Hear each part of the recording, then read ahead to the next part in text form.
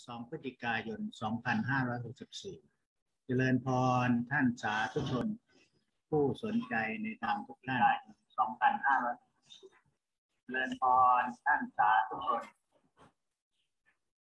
วันนี้เราจะภาวนาตามหลักในอาณาปณสติสูตร ในอาณาปณสติสูตรนั้น ท่านใช้คำว่า หายใจเข้ายาวรู้ชัดว่าหายใจเข้ายาว หายใจออกยาว รู้ชัดว่าหายใจออกยาว เพราะนั้นสมาธิอยู่ตรงที่รู้ชัดว่าอะไรเป็นอะไร รู้ชัดว่ากำลังหายใจ อันนี้จะเป็นสมาธิตั้งมั่นอยู่กับรู้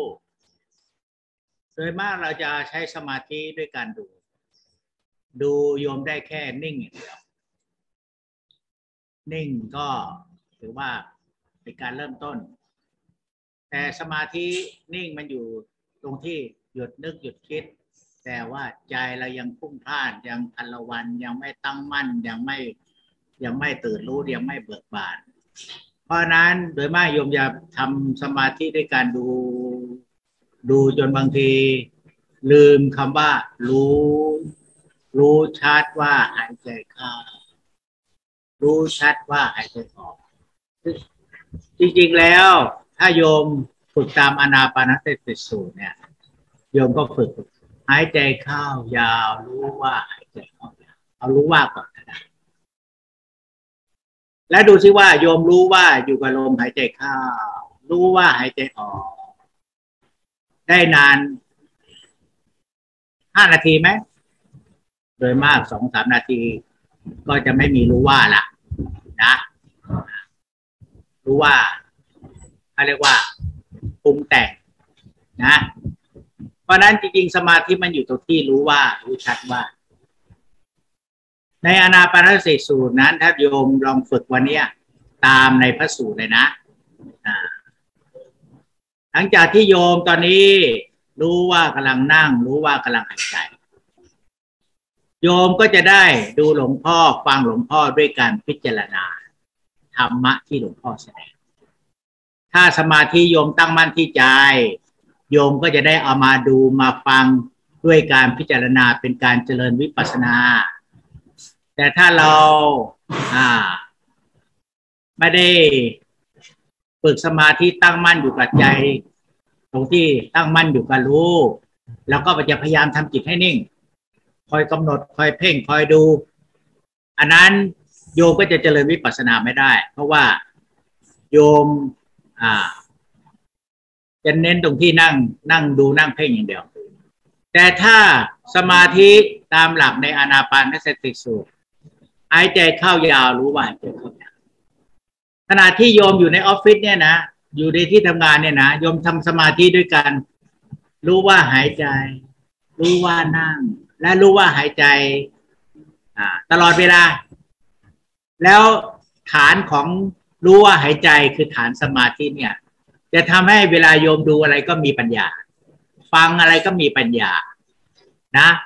คุยก็ได้ คุยก็คุยด้วยปัญญา ไม่ได้คุยด้วยอารมณ์ ตอนนี้เราคิดว่าสมาธิจะต้องอยู่ตรงที่ concentration ด้วยการดูด้วยการเพ่งแสดงว่าเวลาทำงานนี่ เราจะมานั่งดูลมหายใจ ก็ดูงานไม่รู้เรื่องนะอ่าหรือจะคุยกับใคร ก็สมาธิจะไปนั่งดูลมหายใจ คุยกับคนอื่นด้วย ก็คุยก็ไม่รู้เรื่องนะ แต่ถ้าโยมฝึกใหม่นะ สมาธิอยู่ตรงที่รู้ชัดว่าจะท้องพองก็รู้ชัดว่าท้องพอง ท้องยุบก็รู้ชัดว่าพองยุบ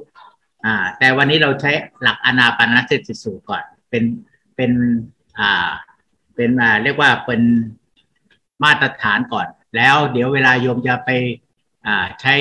กรรมฐานอื่นก็ใช้หลักเดียวกัน เพราะสมาธิต้องอยู่ที่ใจ ถ้าโยมรู้ว่านั่งอยู่แล้วโยมก็คุยกับเขาโยมก็จะใจเย็นนะโยมทำงาน โยมก็ดูที่งาน โยมก็จะดูด้วยปัญญาไตรตรองงานการได้ เพราะว่าพอเวลารู้ว่าหายใจ รู้ว่านั่งอยู่ มันจะค่อยๆวางอารมณ์พอใจโยมวางอารมณ์ใจโยมก็ตั้งมั่นเวลาโยมดูอะไรก็มีปัญญา ฟังอะไรก็มีปัญญานะเพราะนั้นวันนี้ลองลองพลิกสมาธิอยู่ตรงที่กำหนดรู้ด้วยด้วยการดูนั่งเพ่ง เอาไปอยู่ที่กำหนดรู้ด้วย ตรงที่รู้และรู้ว่า แล้วตรงที่ดูตรงนี้เราจะได้ดูด้วยปัญญาว่าลมหายใจเข้าเป็นยังไงพองยุบเป็นยังไง และธรรมที่ปรากฏเป็นยังไงเอาหลับตา วันนี้เราฝึกใหม่นะ เอาสมาธิไปตั้งไว้ที่ฐานใจรู้ว่า แล้วตอนนี้เวลาโยมดู ดูลมหายใจก็ดีดูความยุบดี ก็ดีจะดูด้วยการพิจารณาเมื่อก่อนโยมไม่สามารถพิจารณาได้โยมมีแต่นั่งคอยจดจ่อคอยเอาสติคอยกำหนดแต่พิจารณาไม่ได้ มีแต่วิตกแต่ไม่มีวิจารณ์นะ แต่วันนี้ถ้าโยมรู้ว่าสมาธิอยู่ตรงที่รู้ว่า รู้ว่านั่งกันอะแล้วโยมก็ดูตัวเอง พิจารณาตัวเองโยมก็จะดูตัวเอง พิจารณาตัวเอง ทั้งร่างกายทั้งทั้งกายโยมก็จะพบว่าร่างกายมีทุกส่วนเคลื่อนไหวขยับ ส่วนท้องก็เรียกว่าพองยุบส่วนร่างกายทุกส่วนมันก็เหมือนไหวเคลื่อนขยับ แต่โยมต้องมีสมาธิอยู่ตรงที่รู้ว่าก่อนนะโยม รู้ว่านั่ง รู้ว่าหายใจเข้ารู้ว่าหายใจออก ตอนนี้เวลาโยมดูอะไรมันก็จะเป็นการดูด้วยปัญญา ดูลมหายใจเข้าก็จะดูด้วยปัญญาดูด้วยปัญญาก็คือมีทั้งมอง มีทั้งพิจารณา มีทั้งใคร่ควร มีทั้ง ตัวตราลมหายใจว่าหนักเบาอย่างไรละเอียดปานี่อย่างไร จะดูพองยุบก็ดูด้วยปัญญา ดูด้วยปัญญาก็คือดูอาการพองอาการยุบพิจารณาว่าลักษณะอาการพองอาการยุบเป็นยังไงสมาธิอยู่ตรงที่รู้ว่าอะไรเป็นอะไร หรือรู้ว่ากำลังทำอะไร รู้ว่ากำลังนั่งหายใจ รู้ว่ากำลังหายใจ สังเกตนะโยมอยู่กับรู้ว่ากำลังหายใจไม่เกิน ไม่เกินห้านาทีอาจารย์มาว่าครั้งนี้โยมพอมาฝึกสมาธิตั้งมั่นอยู่กับความตั้งมั่นที่ รู้ว่าอะไร รู้ว่าหายใจ โยมจะอยู่กับรู้ว่าหายใจได้ไม่นานหรอก ใครที่ว่าทำสมาธิแน่ ๆ ด้วยการเพ่งการดู แต่พอมาฝึกสมาธิตั้งมั่นเนี่ย รู้ว่าหายใจเข้า ไม่เกินห้านาทีอะโยมก็จะไปรู้ว่าเรื่องอื่นละ ไปรู้เรื่องอื่นเรื่องบ้านเรื่องครอบครัว เพราะนั้นเหมือนกับว่าที่ผ่านมาเนี่ยโยม โยมฝึกสมาธิอยู่ภายนอก แต่วันนี้ฝึกสมาธิอยู่ภายใน นะ และเราก็รู้ว่าหายใจเข้าพอให้มันมีรู้ว่าอะไรเป็นอะไร ตอนนี้หายใจก็ต้องรู้ว่าหายใจเป็นอย่างไร รู้ว่าหายใจเข้า รู้ว่าหายใจออก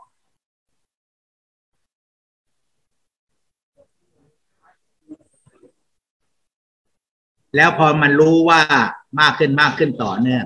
มันจะรู้ชัดว่าลมหายใจหนักเบาอย่างไร มันจะรู้ชัดละเอียด ว่าลมหายใจปานนี้โดยตรงที่การดูเราไม่ใช่ การดูแบบเพ่งแต่เหมือนเมื่อก่อนแล้ว ไม่ใช่เพ่งโฟกัสเหมือนเมื่อก่อนแล้ว แต่จะเป็นการดูที่พิจารณา ดูด้วยปัญญา ปัญญาพิจารณาทั้งลมหายใจและธรรมที่ปรากฏ ตอนนี้การดูของโยมพอมีการพิจารณามันก็จะมีการมองมองแบบอ่าละเอียดมองแบบรอบด้าน แล้วก็จะมีการเห็น แบบแจ่มแจ้งเห็นแทงตลอด ตอนนี้วิปัสสนาโยมอยู่ตรงที่ดูให้ดีมองให้ดี แล้วก็พิจารณาให้ดี แล้วก็จะเห็นแบบแจ่มแจ้งแทงตลอด ซึ่งเมื่อก่อนนี้โยมนั่งกำหนดกำหนดดูพองยุบดูลมหายใจ โยมพิจารณาไม่ได้เลย เพราะว่าสมาธิโยมไปอยู่ตรงที่กำหนดกำหนดด้วยด้วยจิตตรงที่ชอบใช้จิตที่ คิดนึกมาบังคับให้เขาอยู่กับสิ่งใดสิ่งหนึ่งพอบังคับจิตให้อยู่กับสิ่งใดสิ่งหนึ่งเขาพิจารณาทำไม่ได้ แต่ความจริงแล้วสมาธิไม่ได้อยู่ตรงที่เอาจิต บังคับให้นิ่งอยู่กับสิ่งใดสิ่งหนึ่งไม่ใช่ สมาธิอยู่ตรงที่รู้ชัดว่ากำลังทำอะไรรู้ชัดว่ากำลังนั่งรู้ชัดว่ากำลังหายใจเข้าแล้วขณะรู้ชัดกล้ากำลังหายใจเข้าโยมก็สามารถดูแบบ พิจารณามองแบบพิจารณาลมหายใจดูด้วยปัญญาได้ตอนนี้โยมเริ่มดูด้วยปัญญาได้แล้วว่าลมหายใจเข้าเป็นยังไงหรือใครกำหนดรู้พองยุบก็ต้องรู้ชัดว่าที่ใจนะ และดูก็จะเป็นการดูด้วยปัญญาว่าท้องฟองอาการเป็นยังไง ท้องยุบอาการเป็นยังไง แล้วดูด้วยปัญญาดูด้วยสติสังเกตสังกาอาการพองยุบ หรือใครใช้อนาปาสนติก็อาการลมหายใจวันนี้พอสมาธิอยู่ตรงที่รู้ว่ากำลังทำอะไรปีติย่อมเกิดตั้งแต่แรก ความสุขก็ย่อมเกิดตั้งแต่แรกที่เราทำสมาธิถูกต้อง สมาธิวันนี้เราจะมีปีติสุขตั้งแต่เริ่มแรก เพราะว่าสมาธิอยู่ตรงที่รู้ปัจจุบัน เวลารู้อดีตอนาคตแล้วมันเครียด แต่เวลารู้ปัจจุบันแล้วมันมีปีติสุขอ้าวไหนลองลืมตาสิตอนนี้โยมทำงานกับหลวงพ่อด้วยการพิจารณาทำหลวงพ่อได้เลย ไม่ใช่ฟังอย่างเดียว แต่สมาธิโยมอยู่ตรงที่รู้ว่ากำลังนั่งบวกถ้าเราใช้อนาปานติก็รู้ว่ากำลังนั่งหายใจ แล้วตอนนี้โยมฟังด้วยปัญญากระดาษดูด้วยปัญญากระดาษเจริญวิปัสสนากับการฟังธรรมะ เห็นกายเห็นใจตัวเอง พิจิตพิจารณาธรรมะ แล้วก็ย้อนมาที่กายใจตัวเอง เพราะนั้นวันนี้สมาธิของโยมไม่ได้อยู่ตรงที่ดู แต่ตรงที่ดูเป็นวิปัสนา สมาธิในอนาปานสติอยู่ตรงที่รู้ว่า หรือรู้ชัดว่า ต้องพลิกเข้าไปในรู้ว่า แล้วตัวดูก็จะเป็นดูด้วยปัญญาได้ แต่ถ้าโยมมาฝึกตรงที่สมาธิอยู่ตรงที่ดูนะ มันก็ได้เหมือนกัน มันได้สมาธิแบบนิ่ง อ่า แต่ถ้าอยู่ตรงที่รู้ว่ามันได้สมาธิที่ตั้งมั่น และถึงพร้อมด้วยวิตกวิจารปีติสุขอันเกิดแต่วิเวกแล้วแลอยู่ เพราะนั้นวันนี้โยมฝึกสมาธิวันนี้จะมีปีติสุข ค่อยๆเกิดขึ้นตั้งแต่เริ่มแรก แล้วลองลืมตาซิว่า เรารู้ว่าหายใจ กำลังหายใจ และเราสามารถ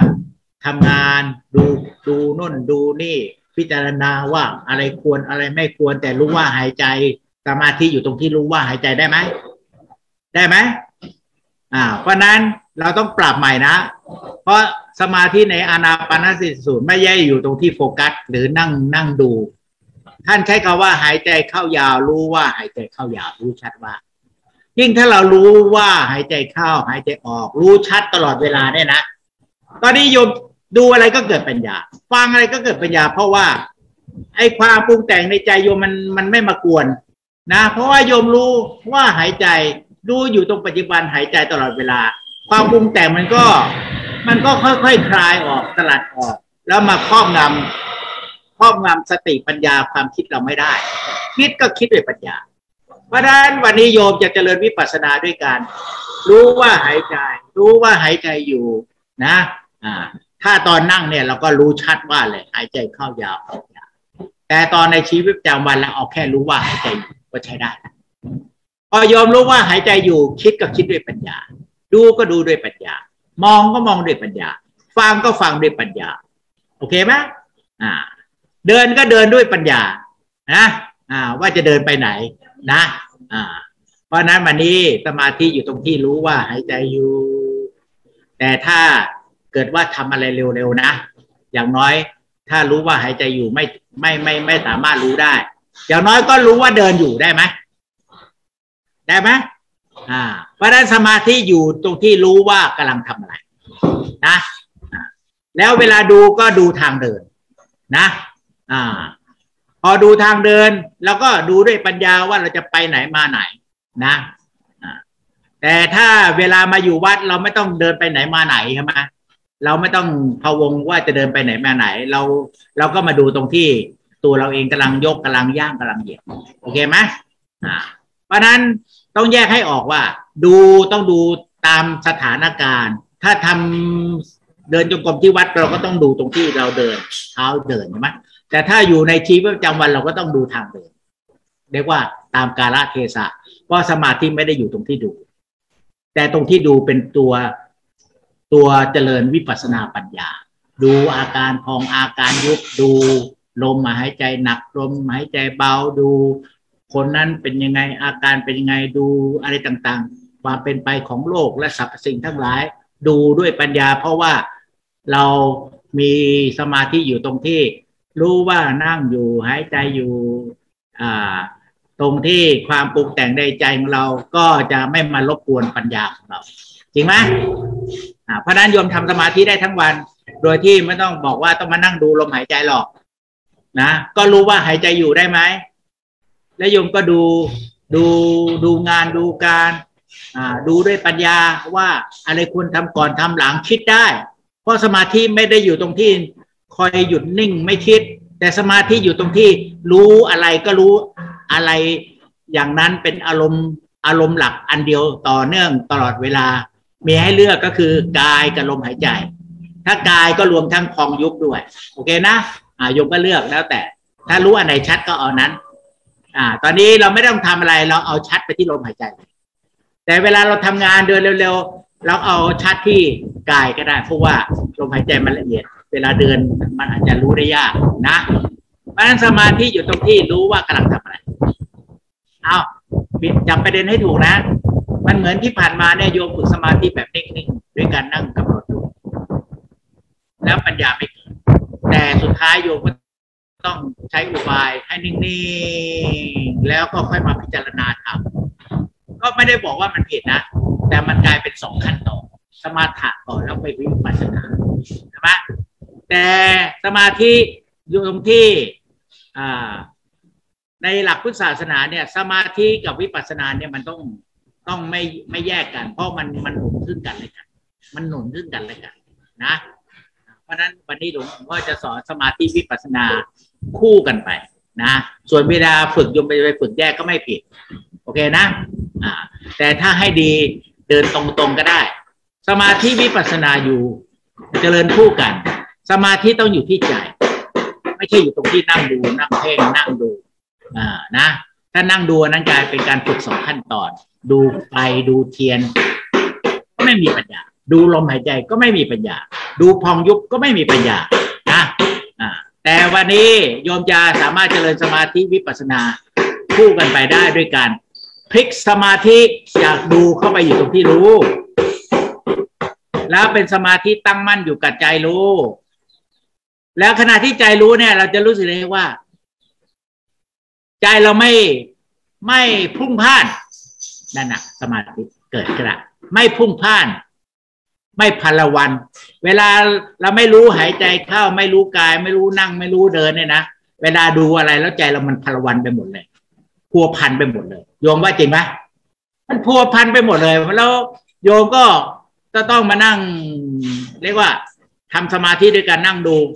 อันนี้มันก็เลยเหมือนมันเหมือนกับเสียเวลาไปนิดหนึ่งแทนที่ว่า จะดูจะงานทำงานอะไรแล้วก็ให้มีสมาธิอยู่ตรงที่ รู้ตัวเองว่ากำลังยืนเดินนั่งนอน หรือถ้าสามารถรู้ลมหายใจได้ก็รู้ลมหายใจยิ่งยิ่งดี พอเรารู้ตัวเองปั๊บใจเราก็จะไม่ไปพัวพันกับสิ่งที่ดู ดูก็เหมือนกับ ดูตามความเป็นจริง เห็นตามความเป็นจริง ฟังตามความเป็นจริง อ่า พอมาถึงตอนนี้นะจะได้บอกว่าโยมมาใหม่วันนี้โชคดี เพราะว่าถ้าโยมฝึกสมาธิอ่า ตามหลักอาณาปานสติสูตรเนี่ย โยมจะเดินตรงเลย เดินตรงเลยไม่เสียเวลาเป็นสิบปียี่สิบปี เช่นตอนเนี้ย โยมดูหลวงพ่อ แต่ดูหลวงพ่อแล้ววอกแวกดูหลวงพ่อแล้วไม่เกิดปัญญา เพราะใจโยไปพัวพันกับเรื่องใดเรื่องหนึ่งใช่ไหม โยมก็เอาใจมารู้อยู่กับกายว่านั่งกำลังนั่งอยู่ รู้ว่าอยู่ตรงที่รู้ว่า หรือใจอยู่ตรงที่ รู้ว่าหายใจเข้ารู้ว่าหายใจออก แล้วเวลาใจเรารู้อยู่กับปัจจุบันที่กายที่ลมหายใจ เวลาฟังหลวงพ่อก็เกิดปัญญา เวลาดูหลวงพ่อก็เกิดปัญญา ใช่ไหมอ่า ถ้าสมาธิของโยมอยู่ตรงที่นั่งดู ดูหลวงพ่อ ทำสมาธิต้องคอยเพ่งไปที่หลวงพ่อ ไอ้นี้ปัญญาไม่เกิด เพราะว่าพอเพ่งแล้วมันนิ่งเข้าใจไหมอ่า แต่ถ้าสมาธิตามหลักอานาปานสติสูตรหายใจเข้ายาวรู้ว่าหายใจเข้ายาวหายใจออกยาวรู้ว่าหายใจออกยาวก็ฉะนั้นแล้วโยมฝึกใหม่ดิอ่าไหนไหนอ่าวันนี้ก็มีโยมญาติโยมนุ่งขาวห่มขาวมาฝึกใหม่นะมาฝึกเริ่มต้นใหม่ ฝึกให้ถูกเลย อ่าไม่ต้องฝึกเป็นสองขยักสมาธิวิปัสนาทีฝึกคู่กันไปเลย สมาธิอยู่ตรงที่ใจเรามั่นคงตั้งมั่น แล้ววิปัสเมื่อมีสมาธิใจมั่นคงตั้งมั่น ดูอะไรก็เป็นวิปัสนาหมดเลยฟังอะไรก็เป็นวิปัสนา เห็นก็เป็นวิปัสสนาหมดเลย จริงไหมอ่าดูอะไรก็จะมีปัญญาเพราะใจมันตั้งมั่น ฟังอะไรก็มีปัญญา เห็นอะไรก็มีปัญญาใจตั้งมั่นอ้าวเราจะฝึกทั้งลืมตาและหลับตา เพราะว่าโยมจะได้ไปฝึกในชีวิตประจำวัน พอหลับตาเราก็ไม่ต้องมานั่งแบบคอยนั่ง เอาจิตไปนั่งจดจ่อเพ่งลมหายใจไม่ต้องแต่ให้เอาใจรู้ชัดว่าหายใจเข้า เอาใจรู้ชัดว่าหายใจออก แล้วตรงที่รู้ชัดมันจะมีสติที่เขาเรียกว่า attention เวลาโยมรู้ชัดอะไรใจตรงนั้นมันจะมีสมาธิเกิดจากสติ attention สติมันจะคอยระลึกลมหายใจตลอดเวลาตรงที่ใจรู้ชัด ใช่ไหมแต่ภาษาอังกฤษเขาเรียกว่า attention นะหรือ realization อชอบคำไหนก็เอาคำนั้น เวลาตอนนี้เรานั่งเราก็นั่งหลับตา รู้ว่าหายใจก่อน เบื้องต้นเวลาฝึกใหม่เนี่ยนะโยมใช้คำว่า หายใจเข้าก็รู้ว่าหายใจเข้าพอบอกรู้ชัด โยมไปพยายามรู้ชัดอีกก็ใช้ไม่ได้เข้าใจไหมเพราะนั้นมันต้องภาวนามาจากตรงที่ไม่มีอัตตา รู้ตามที่มันเป็น สมาธิที่เป็นไปเพื่อวิปัสสนานั้นเรารู้รู้ชัดตามที่มันเป็นเอาพนานหายใจเข้ายาว รู้ว่าหายใจเข้ายาว ใจออกยาวรู้ว่าหายใจออกยาวแล้วขณะที่รู้ว่า นะ เรารู้ว่ารู้ว่าเรื่องใด อะ รู้ว่าเรื่องหายใจ ตอนนี้โยมหลับตาไม่ต้องดูหลวงพ่อโยมก็ดูหายใจ นะแต่โยมจะดูด้วยปัญญาล่ะ มองด้วยปัญญา เห็นด้วยปัญญาเอาหลับตาเมื่อก่อนโยมไม่มีดูด้วยปัญญา ดูแล้วก็จะง่วง มองก็ไม่ด้วยปัญญา คือไม่ได้พิจารณา มองก็จะง่วงเพราะวันนี้โยมจะรู้จัก มีสมาธิรู้ชัดว่าหายใจเข้าแล้วก็มองด้วยการพิจารณาดูด้วยการพิจารณา ด้วยปัญญาว่า ลมหายใจหนักเบาอย่างไรละเอียดยังไงที่สำคัญโยมมีปีติสุขตั้งแต่เริ่มแรกที่โยมรู้ว่าหายใจเข้ามีปีติสุขเริ่มแรกตั้งแต่ เริ่มเรารู้ว่าหายใจออก ซึ่งถ้าโยมใช้วิธีการดูแต่เดิม ไม่มีปีติสุขเกิดเลย บางทีคือทั้งชั่วโมงก็ไม่มีปีติสุขเกิดเลยเพราะโยมมีแต่นั่งเพ่งนั่งดูเพราะนั้นอาการปีติสุขมันเกิดที่ใจอ่า พอเราพลิกมาฝึกสมาธิมาจากตั้งมั่นด้วยการรู้ตลอดเวลาตั้งมั่นก็คือรู้ รู้ตลอดเวลา ว่าลมหายใจเป็นยังไง รู้ตลอดเวลาอยู่กับลมหายใจ เมื่อเรามีรู้ตลอดเวลาอยู่กับลมหายใจ ถ้าใครฝึกพองยุบก็รู้ตลอดเวลาอยู่กับพองยุบอ่าโดยที่เราจะรู้สึกได้ว่า การที่มารู้ใกล้ ๆ ตรงที่หายใจก็ดี หรือร่างกายหรือท้องพองยุบก็ดี ปีติสุขย่อมเกิดตั้งแต่เริ่มแรก ถ้าปีติสุขไม่ไม่เกิดก็แสดงว่า เราไปเคยชินแบบนั่งดู พอดูใจรู้มันก็ส่งออกนอกไปอยู่ตรงที่ดู พอใจรู้ส่งออกนอกไปอยู่ตรงที่ดูปีติเกิดก็เกิดไม่ได้ เพราะโยมไปรู้อยู่ในสมอง ไปรู้อยู่ตรงที่นึก โอเคนะ อ่า ถามว่าผิดไหมก็ไม่ผิด ถ้ารู้อยู่ตรงที่นึก มันก็ได้สมาธิขั้นสมาธิแบบนิ่งๆ ไม่ผิดนะไอ้ที่ผ่านมาโยมก็ไม่ได้ฝึกอะไรผิดเพียงแต่ว่าโยมฝึกเป็นสองขั้นตอน แต่วันนี้เราจะฝึกเป็นขั้นตอน ไม่มีขั้นตอนก็คือ Buddhist meditation อ่า ต้องพร้อมด้วยสมาธิและวิปัสสนาคู่กันไป เวลาตอนนี้เรารู้หายใจเข้า รู้หายใจออก ใจเราเบิกบานไหมถ้าไม่เบิกบานลืมตาเลยนะโยมถ้าใครใจไม่เบิกบานไม่ปีติสุขเบิมตาเลย เพราะว่าแสดงว่าโยมกำลังไปนั่งก้มดูเข้าใจไหมอ่าไหนลองลืมตาดิรู้ว่าหายใจเข้าสบายสบายใจสบายไหม ถ้าไม่มีใจสบายแต่ต้นแสดงว่าโยมไปนั่งก้มดู โอเคนะ เพราะว่าสมาธิจะเกิด เราจะรู้ได้ไงว่าเกิด มันจะต้องมีปีติสุขเพราะนั้นโยมต้องลืมตา รู้ว่าหายใจเข้ายาว และใจสบายสบายสังเกตดูติพอโยมมารู้ว่าเนี่ย ใจจะสบายทุกครั้งเนี่ยแต่เวลาโยมดูทุกครั้งเนี่ยใจจะไม่สบายปีติสุขจะไม่มี นะ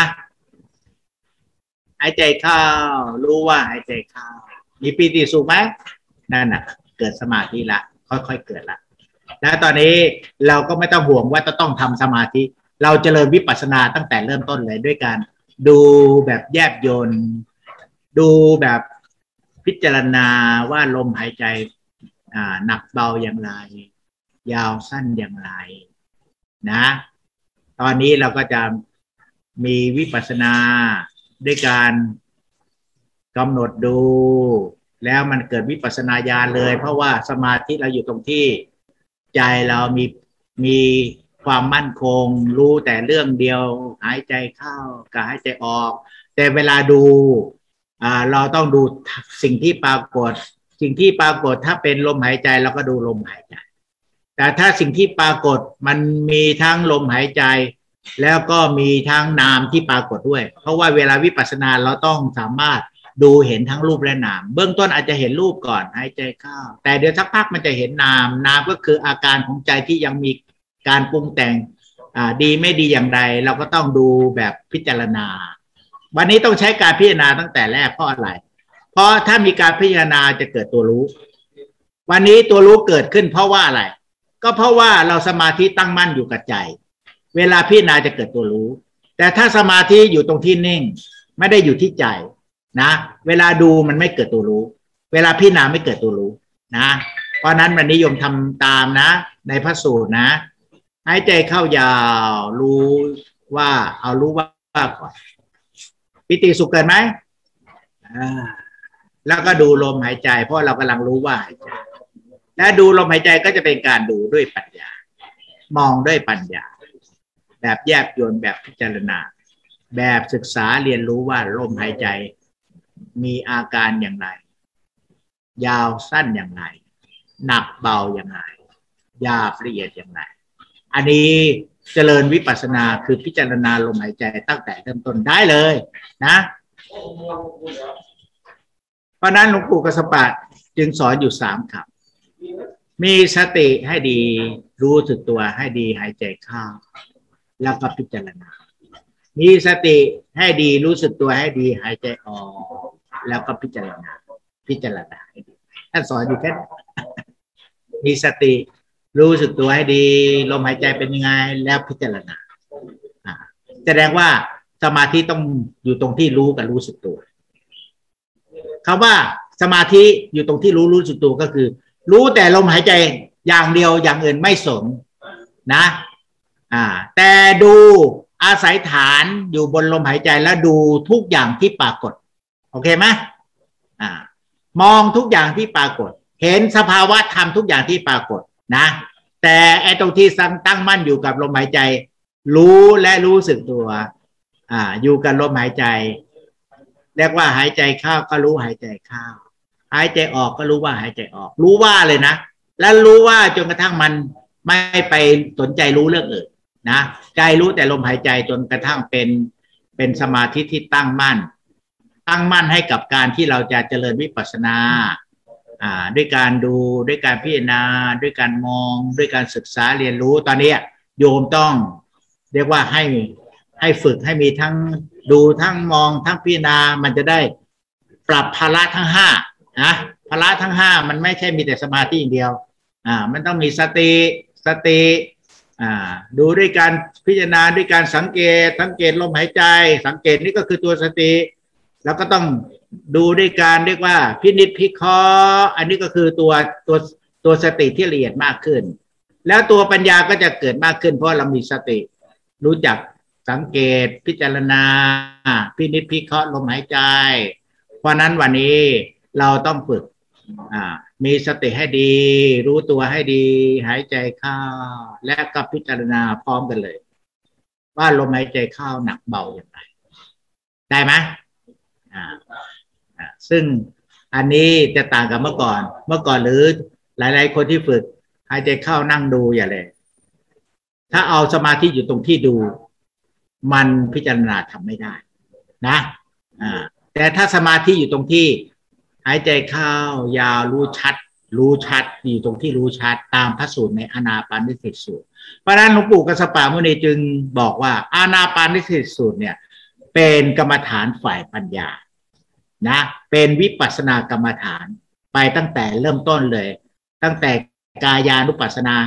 อ่าไม่ใช่วิปัสสนามันจะเริ่มต้นตรงที่ขั้นเวทนานุปัสสนา ก็เขาใช้ชื่อว่ากายานุปัสสนา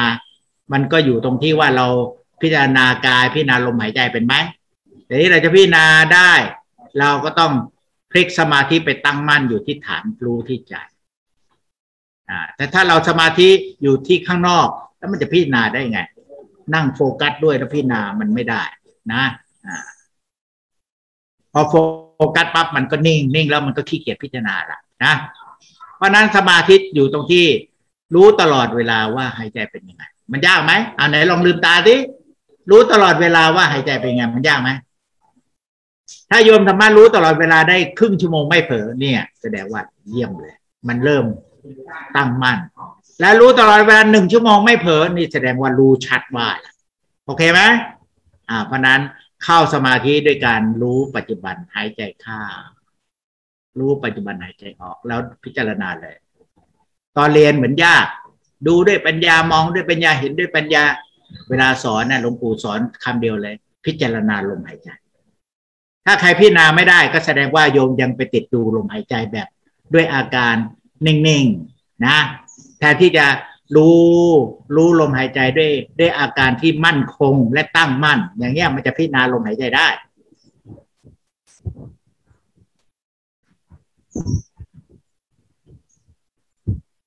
แล้วมันจะมีปีติสุขตั้งแต่เริ่มแรกที่เรารู้ รู้หายใจเข้าด้วยใจ ใจเราจะรู้สึกสดชื่นเบิกบานยิ่งรู้ลมหายใจกลับมารู้ลมหายใจทีไร ทุกคาไปก็จะรู้สึกใจแช่มชื่นเบิกบานแต่ไปไปรู้เรื่องเรื่องครอบครัวเรื่องบ้านเรื่องเรื่องสิ่งต่าง ๆ โอ้ใจมันรู้สึกมีแต่ความวุ่นวายนะ ใครจะลืมตาก็ได้ เพราะสมาธิอยู่ที่ รู้ชัดว่ากำลังหายใจเข้า แต่ลืมตาเราก็พิจารณาทำหลวงพ่อไป โอเคไหมอ่า ลืมตาก็ฟังพิจารณา ดูพิจารณา นะพิจารณาทำหลวงพ่อไป แล้วเราก็รู้ว่า ข้างในเราจะเห็นได้ไหมมันค่อยๆสงัดวิเวกเห็นไหมเห็นไหมอ่า เรารู้สึกได้นะข้างในสงัดวิเวกนะและข้างในรู้สึกสดชื่นไหมเนี่ยแหละเขาเรียกว่าสมาธิที่ถูกต้องจะต้องถึงพร้อมด้วย ปีติสุขไปตั้งไปพร้อมๆกันเลย ถ้าใครนั่งแล้วไม่มีปีติสุขแสดงว่านั่งผิด สมาธิผิด ไม่ใช่เป็นสมาธิที่เป็นความตั้งมั่นแต่เป็นสมาธิที่เกิดจากการที่เราพยายามทำจิตนิ่งนะอันนั้นก็ได้เป็นการที่ว่าอยู่ไปฝึกขั้นตอนเองวันนี้จะฝึกขั้นตอนไม่มีขั้นตอนก็คือทางสมาธิตั้งตั้งมั่นมั่นคงแล้วก็พิจารณาธรรมที่ปรากฏ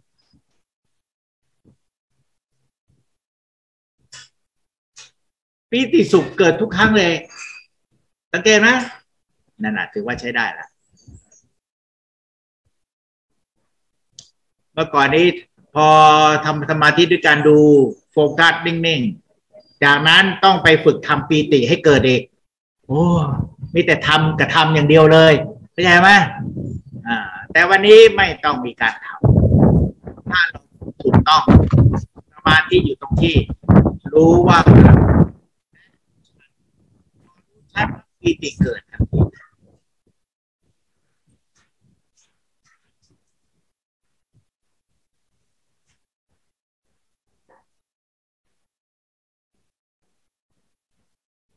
แล้วจะรู้สึกได้ว่านั่งแล้วเหมือนอมยิ้มอยู่ มันอมยิ้มอยู่ข้างในจริงไหมสบายแล้วเราก็พิจารณาลมหายใจ พิจารณาลมหายใจให้ดี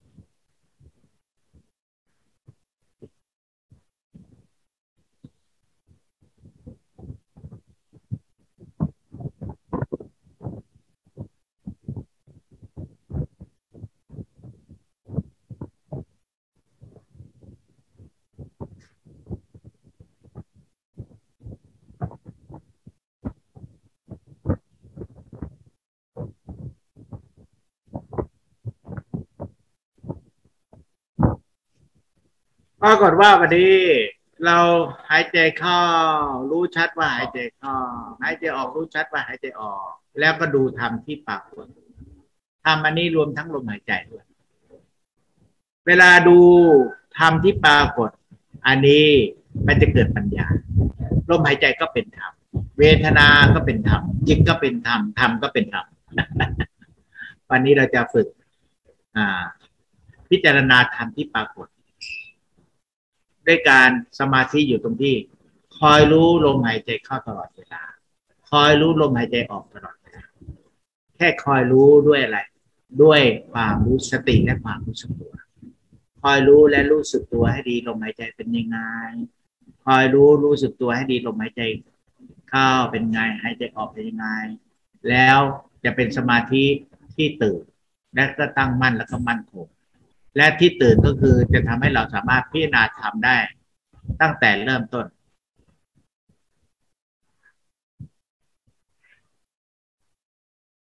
ตอนนี้พอเราตามาที่ของเราตั้งมั่นอยู่ตรงที่รู้ลมหายใจเข้ายาว แล้วก็ออกยาว พอลมละเอียดแล้ว มันจะไปอยู่ขั้นขั้นขั้นที่สามก็คือกองลมละเอียดมันจะไม่ไม่ไม่ไม่ไปไปรู้ชัดที่เข้ายาวออกยาวละ ไอ้เข้ายาวออกยาวเข้าสั้นออกสั้นเป็นเป็นขั้นหนึ่งขั้นสองบางท่านไปถึงขั้นละเอียดกองลมละเอียดนี้ โยงก็ใช้การพิจารณา พิจารณาลมละเอียดอันเป็นภายใน คือเหมือนกับว่า แทนที่จะรู้ชัดว่าหายใจเข้ายาวหายใจออกยาว ก็ลมละเอียดแล้ว ก็แค่รู้ว่า หายใจเข้า หายใจอยู่ รู้ว่าหายใจอยู่ อันเป็นภายในยิ่งยิ่งขึ้นไป แล้วเราก็พิจารณาลมหายใจอยู่ที่มันอยู่ข้างในอะ นะ การพิจารณาลมหายใจที่มันละเอียดอยู่ข้างในนี้หลวงปู่กสปะมุนีอ่านไหนลองเดิมลองลืมตาดิจังหวะที่ลืมตาช่วงเนี้ยลมหายใจโยมละเอียดอยู่ข้างในละโยมไม่ต้องไปคอยพวงเข้ายาวออกยาวละเพราะว่าเข้ายาวออกยาวเข้าสั้นออกสั้นเป็นขั้นหนึ่งกับขั้นสองบางคนไปอยู่ขั้นที่สามเป็นกองลมละเอียดอยู่ข้างใน ในในซวงอก หรือบางทีเข้าไปทุกส่วนของร่างกายเลยใบไม้มันจะเหมือนอยู่ในซวงอก แต่พอโยมพิจารณาไป มันจะสามารถเห็นลมหายใจที่ซวงอกแผ่ขยายไปทั่วทุกขุมขนเลย แต่ถ้าโยมไม่พิจารณา มันก็เหมือนโยมแช่ไว้ตรงนั้น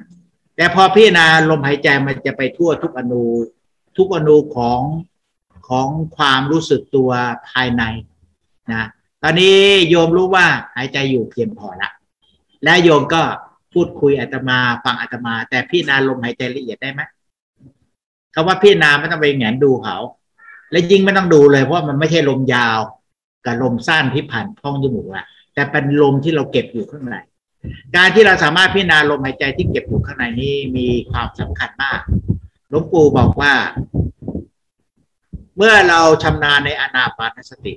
เราหายใจเข้ายาวออกยาวเข้าสั้นออกสั้นจนลมละเอียด แล้วเราสามารถเรียกว่ารวบรวมลมละเอียด เก็บลมละเอียด เป็นคุณสมบัติอยู่ไปภายในจิตวิญญาณของเราได้ ไอ้ลมละเอียดเนี่ยนะพลังของเขาเนี่ย มหาศาลเลยนะลมละเอียด ลมละเอียดถ้าโยมฝึก วันนี้ก็ละเอียดพรุ่งนี้ก็ละเอียด ทั้งทั้งเดือนก็ละเอียด ทั้งปีก็ละเอียด ปีนี้ปีหน้าก็ไปเห็นลมละเอียดบ่อยๆมันต้องฝึกเป็นปี ลมละเอียดที่ฝึกเป็นปีหลวงปู่บอกว่า อ่า เหมือนเราสามารถเราชำนาญในการรักษาลมหายใจ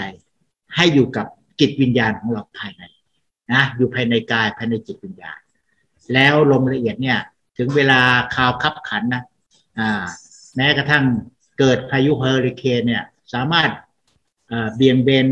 ทิศทางเฮอริเคนได้เลย ลมข้างในเนี่ย พายุมากกว่าลมสลาตัน ท่านใช้คำว่าลมสลาตัน ลมเฮอริเคน นะ เกิดเหตุเพศไปปั๊บสามารถปัดเป่าเหตุเพศภัยออกไป โยมเกิดอะไรต่างๆ จวนเจียนรถจะคว่ำจะเกิดอุบัติเหตุปั๊บลมละเอียดเขาเขาจะมาขยายออกมาประคองให้รถของโยมไม่ไม่ไม่ถึงขนาดที่อุบัติเหตุรุนแรงนะลมละเอียดปั๊บเหตุการณ์ครอบครัวอะไรต่างๆ มันรู้สึกจะวิกฤตวิกฤตทำไมแต่ละคนเจ็บไข้ได้ป่วยลมเลียดของโยมมันจะเป็นลมปราณไปช่วยรักษาทุกคน นั้นลมเลียดเนี่ยมันมันมีประโยชน์มากโดยมากเราจะนั่งดูแต่ลมหายใจเข้ายาวออกยาว แล้วก็ให้มันเกิดเป็นนิมิตลมหายใจ แล้วส่วนมากจะไปติดอยู่ตรงที่นิมิตลมหายใจนะแต่หลวงปู่ให้พี่นาลมหายใจที่เป็นนิมิตลมหายใจเป็นลักษณะละออง เป็นลักษณะวันหมอก ลมยาว ลมสั้นจนกระทั่งเข้าไปถึงลมละเอียด แล้วก็ให้เก็บลมละเอียดสามารถเก็บลมละเอียดอยู่ภายในเป็นคุณสมบัติของตนได้เขาเรียกว่าหายใจเข้าหายใจออก ทุกวันนี้เราหายใจเข้าหายใจออกแล้วมีแต่ลมละเอียดออกไปหมดเลยลมละเอียดจนกระทั่ง ร่างกายป่วยร่างกายสู้ผอมลมละเอียดจนกระทั่งร่างกาย ไม่มีเรี่ยวไม่มีแรงเลยเข้าใจไหมเพราะนั้นวันนี้การที่จะเก็บรักษาลมละเอียดได้เนี่ยหลวงปู่ไม่ได้สอนวิธี แต่อาตมารู้ ตรงที่พอทำตามหลวงปู่บอกว่าให้พิจารณา แล้วเราลองมาพิจารณาลมละเอียดนะทั้งวันนะอยู่กับลมหายใจเป็นวิหารธรรมเป็นเครื่องอยู่แล้วลองพิจารณาลมหายใจที่ละเอียดนะมันจะมีลมหายใจละเอียดทั้งวันเลยนะพรุ่งนี้ก็พิจารณาอาทิตย์นี้อาทิตย์หน้าก็พิจารณาพิจารณาทุกวันแหละตอนเนี้ย โยมจะได้ลมละเอียดเป็นเป็นพลังบารมีอำนาจโยม ทำให้โยมรู้สึกได้ว่าเบากายเบาใจสุขภาพดีและสามารถช่วยคนได้ด้วยไอ้ลมหายใจเนี่ยมันมีกำลังอนุภาพมากนะเพราะนั้นท่านสอนวิชาเก็บลมละเอียดอยู่ภายในหายใจเข้าเราก็หายใจออก แต่ลมละเอียดเรายังอยู่ภายในนะแต่ท่านไม่สอนวิธีพิจารณาให้ให้ว่าว่าจะเก็บยังไง แต่พอพิจารณาตามที่ท่านสอนนะมีสติให้ดีรู้สึกตัวให้ดี พิจารณาลมหายใจให้ดี อ้าวจำคำพูดท่านได้ พอพิจารณาปั๊บตอนนี้มันลมละเอียดใช่ไหมพอเราพิจารณาปั๊บตัวนี้ลมละเอียดมันเหมือนกับ มันอยู่ภายใน มันอยู่ภายใน มันหล่อเลี้ยงขุมขนร่างกาย มันหล่อเลี้ยงจิตวิญญาณ หายใจเข้าหายใจออกก็มีแต่ลมละเอียดมันมันมันไม่ไม่ปล่อย ไม่ปล่อยแบบออกไปนะคาร์บอนไดออกไซด์หายใจออกไปแต่ลมละเอียดมันไม่ออกไป ลมละเอียดมันเป็นพลังอำนาจของเรานั้น การที่เราจเจริญอานาปานสติเนี่ยนะโยมให้พิจารณาลมหายใจ ตั้งแต่ลมยาวลมสั้น แล้วเดี๋ยวโยมจะสามารถพิจารณาลมละเอียดได้ และไอ้วิชานี้วิชานี้หลวงปู่ไม่ได้สอนตรงๆ แต่ท่านสอนว่า ต้องมีความชำนาญ สามารถเก็บลมหายใจอยู่กับภายในภายในภายในท่านใช้คาว่าภายในได้นะและอันนี้จะมีมีกำลังมีอำนาจมีบารมีมากนะ เพราะนั้นวันนี้ โยมลองหัดพิจารณาใหม่นะหายใจเข้ายาวรู้หายใจเข้ายาวแล้วก็พิจารณาลมหายใจยาวไปก่อนหายใจออกยาวก็รู้ว่าหายใจออกยาวแล้วพิจารณาลมหายใจยาวไปก่อนนะแล้วเดี๋ยวลมหายใจโยมพิจารณามากขึ้น คือพิจารณาว่าหายใจยาวแล้วหนักเบายังไงละเอียดปานี่ยังไงละเอียดยังไงสำคัญก็คือไปถึงลมละเอียดละเอียดละเอียดยังไง ไม่ใช่พิจารณาแต่ยาวๆสั้นๆนะ ต้องพิจารณาไปถึงหนักแล้วเบาเบาเบาและละเอียดยังไง แล้วเดี๋ยวมันจะไปเห็นลมละเอียดในในกายที่เป็นลมภายในกายของเราลมเข้าภายในจิตวิญญาณ แล้วพอเราพิจารณาลมละเอียดได้แล้วตอนเนี้ยเราก็เหมือนกับมีอานาปานสติเป็นเครื่องอยู่ตลอดเวลาอ้าวเราทำดู หายใจเข้ายาวรู้ว่าหายใจเข้ายาวหายใจออกยาว รู้ว่าหายใจออกยาวและพิจารณาลมหายใจ ลมหายใจที่เข้ายาวออกยาวไปก่อน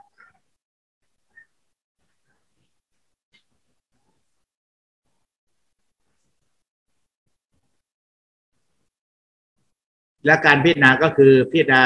อาการลมหายใจเข้ายาว หนักเบายังไง ละเอียดยังไง ละเอียดยังไงปานี่ยังไงพิจารณาเช่นนี้ไปเรื่อยนะ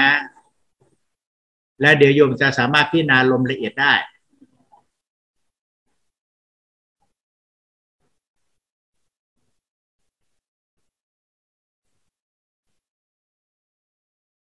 เมื่อก่อนนี้โยมบอกว่า หายใจก็รู้ตัวว่าหายใจ แล้วก็ถามหลวงพ่อว่าต้องทํำยังไงต่อ วันนี้ก็บอกว่าให้พิจารณาลมหายใจที่ละเอียดอันเป็นภายในต่อไป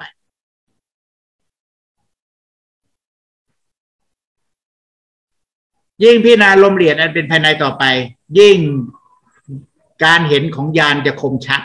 เห็นไปถึงกิริยาจิต เห็นไปถึงอนิจจังทุกขังอนัตตา ภายในจิตในจิตเลย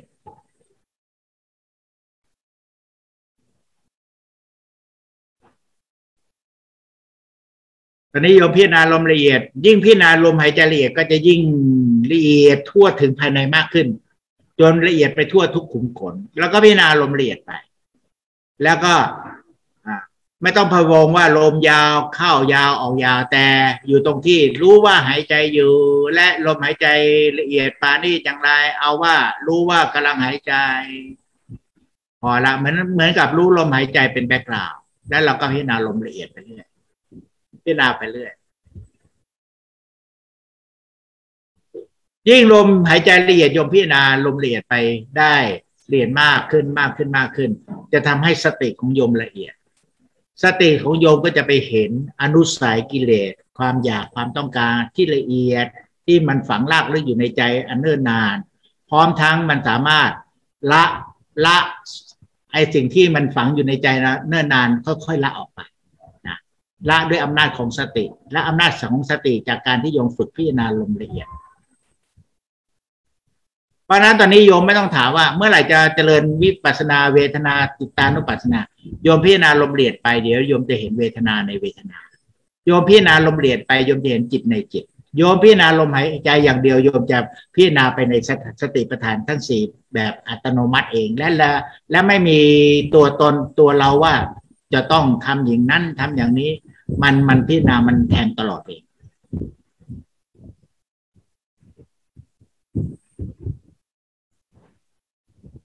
พิจารณาลมละเอียดได้ไหมอ่านในลองลืมตา รู้ว่าหายใจอยู่ แล้วพิจารณาได้ไหมลมหายใจมันปลอดโปร่งยังไง ภายในพิจารณาแล้วมันจะเห็นลมหายใจเป็นความละเอียดอยู่ข้างในขยายตัวมากขึ้น แล้วเราก็พิจารณาไป อ่า แต่เราสังเกตได้ไหมเวลาคุยอะไรกับใครที่ไม่สบอารมณ์ลมละเอียดหายเลยเข้าใจไหมเพราะนั้นเราก็ต้องเรียกว่า รู้เหตุรู้ผลรู้ตนรู้ประมาณรู้กาลเทศะบุคคลนะอ่า ลมละเอียด อ่า คือเรียกว่า อาศัยวนาจะพาลานังนะอย่าคบคนพาลบัณฑิตแล้วก็คบแต่บัณฑิตอะไรนะแล้วโยมจะสามารถอยู่กับลมละเอียดได้ นะ อ่า เอายมอยู่กับลมละเอียดได้ปับยานวิปัสนาญาณมาเห็นเข้าไปในเวทนาในจิตในธรรมด้วย เพราะฉะนั้นวันนี้การพิจารณาลมหายใจมันจะถึงพร้อมด้วยสติปัฏฐานทั้งสี่รวดเดียวเลยแทงตลอด และเป็นทั้งเจโตเป็นทั้งฌานเป็นทั้งวิปัสนาญาณทั้งสิบหกแล้วมันพิจารณาลมละเอียดมันจะเห็นสิ่งที่เราละไม่ได้ ยังละไม่ได้ ลึกๆ หรือสิ่งใดที่เราละได้แล้ว มันจะเห็นเอง มันจะเกิด อ่า เรียกว่า ญาณเห็นเห็น เห็นเป็นเห็นอริยสัจสัจสี่เห็นข้างในทำไมเรายังทุกข์เพราะอะไรถึงทุกข์เหตุแห่งทุกข์ลมเอียดเนี่ย จะพาให้เราเห็นอริยสัจสี่และเห็นเป็นสามรอบปริวัติสามอาการสิบสองเรื่องนี้เรื่องนี้ เรายังวางไม่ได้มันถึงทำให้เราทุกข์แต่เรื่องนี้เราไม่ทุกข์แล้วเพราะว่าเราปล่อยวางได้ อ่า แล้วก็แล้วมีกิจอะไรอีกที่เรายังต้องทำอีกเพื่อเพื่อละวางปล่อยวางให้พ้นจากความทุกข์จากความยึดมั่นถือมั่นข้างในมันจะเห็นเองเพราะนั้นวันนี้รวดเดียวจบเลยอนาปานสติถึงพร้อมด้วย อ่า เรียกว่าอัปปนาชาแล้วก็วิปัสนาสิบหกแล้วก็ถึงพร้อมด้วย การทบทวนในยาทั้งสามเป็นปฏิวัติสามอาการสิบสองวันนี้ก็พอสมควรเวลาขอให้ทุกท่าน มีสติรู้สึกตัวให้ดี พิจารณากายเนืองๆรวมทั้งลมหายใจเนืองจนกระทั่งเห็นลมละเอียด พิจารณาลมละเอียด และท่านจะเกิดใจท่านจะแจ่มใสผ่องใสเห็นทาง ไปสู่ความพ้นทุกข์เข้าสู่มรรคผลนิพพาน และปิดอบายให้ได้ในชาติปัจจุบันนี้ ทุกผลทุกท่านเถิดพ่อเจ้าครับพอจะมีเวลาสำหรับคำถาม